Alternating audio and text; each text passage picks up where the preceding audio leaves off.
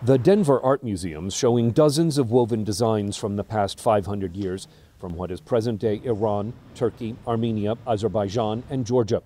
Museum director Christoph Heinrich says some of the rugs bridge thousands of kilometers, including the 1700s design from the Caucasus, with dragons that come from much farther east in Asia. This is one of the many indicators how these um, carpets were connectors between different cultures and were really bringing motifs, symbols, information from one country to another.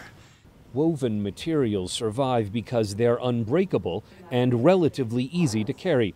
People use rugs to pray, to keep warm, and to sleep, as with this thick piled Turkish yatak, which served as portable bedding. It gives you as well a sense of the um, variety of uses. Nowadays, a rug is usually something that you put on the floor and you keeps the wa floor warm and your feet and, and that's it.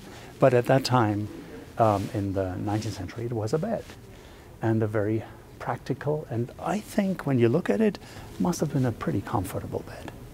Other Turkish rugs in the exhibit include this Karaman carpet and this Demirci Kula rug, both from the early 1800s. While the weavers themselves are mostly unknown, Heinrich says regional artisans distinguish themselves with the colors of their wool dyes and the patterns of their knotting. Weaving is a little like pixels. Uh, it's not like when you paint something where you can just make whatever brushstroke. You always have these little dots that you have to think in as a maker.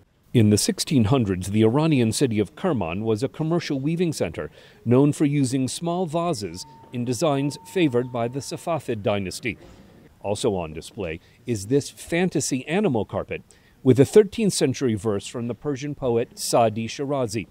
A favorite with exhibit visitors is this lion from southwestern Iran. The immediacy of this amazing face looking at you is quite rare. With the different uh, pattern, of course, as well, very inventive.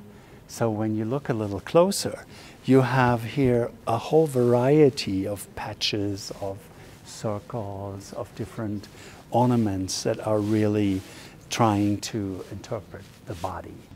Heinrich says the rug's rich colors, patterns, and symbols show a deep history of trade and diplomacy across the region. The exhibit runs through May.